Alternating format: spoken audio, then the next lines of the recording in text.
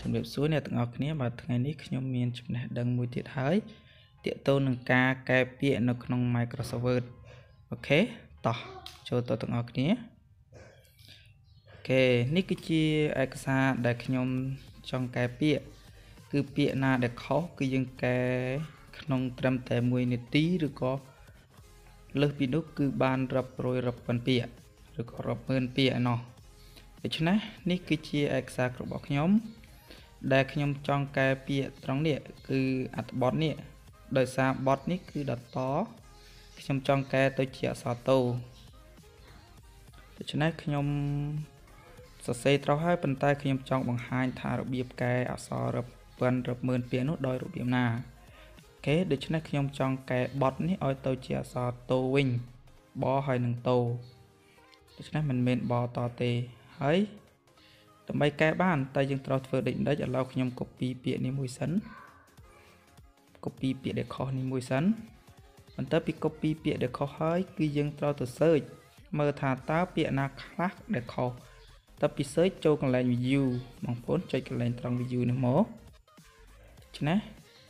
ឥឡូវខ្ញុំបរិយាធមបន្តិចនេះអ្នកទាំងអស់គ្នាចុចកន្លែង view មកបន្ទាប់ពីចុចកន្លែង view ហើយ គឺចេញ view បែបនេះហើយគឺគ្រាន់តែយកមករំកិលមកខាងឆ្វេងបន្តិចយកមកអ្នកទាំងអស់គ្នារំកិលមកខាងឆ្វេងបន្តិចហើយ tick ក្នុងពាក្យថា navigation pane ឆ្នេះ tick លើនេះវាមក tick នៅពេលដែល tick គឺវាចេញផ្ទាំងបែបនេះនេះផ្ទាំង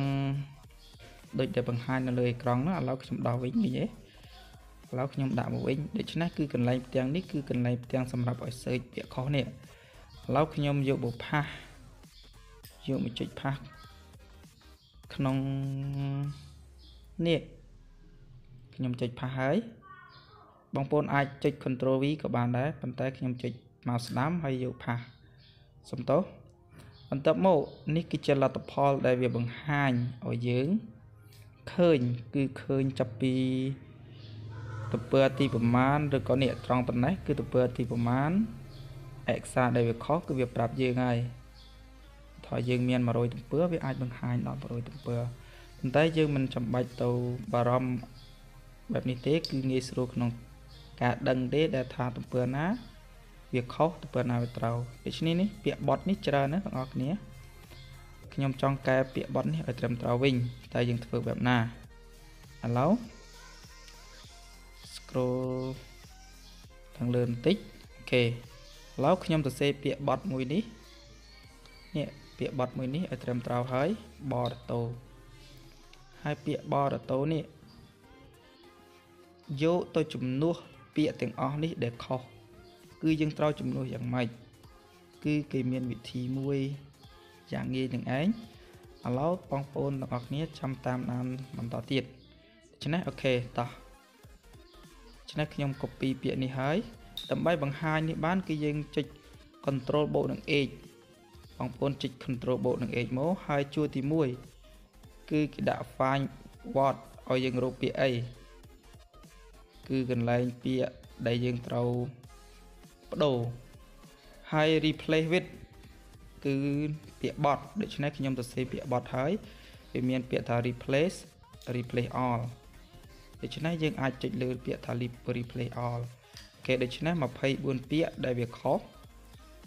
ទាំងអស់គឺក្នុងអត្ថបទនេះគឺ24ពាក្យដូច្នេះខ្ញុំចុច yes វានឹងកែឲ្យទាំងអស់តែម្ដងមិនចាំបាច់អង្គុយកែពីរបីដងទេ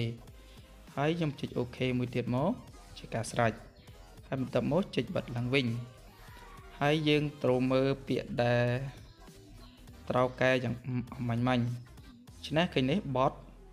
គ្រប់ ពាក្យបទទាំងអស់នេះឬអត្ថបទទាំងអស់នេះគឺយើង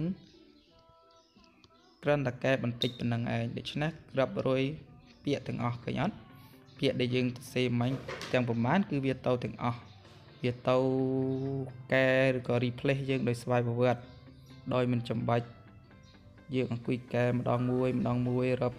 រយរាប់ម៉ឺនពាក្យទៅទេអូខេដូច្នេះ វីដេអូរបស់ខ្ញុំបាទមានតែប៉ុណ្ណឹងបើសិនជាបងប្អូនទាំងអស់គ្នាមានចម្ងល់អាចចុច comment ឬក៏សឬក៏ comment ក្នុងក្រោមវីដេអូរបស់ខ្ញុំខ្ញុំនឹងកែបាទសូមអរគុណ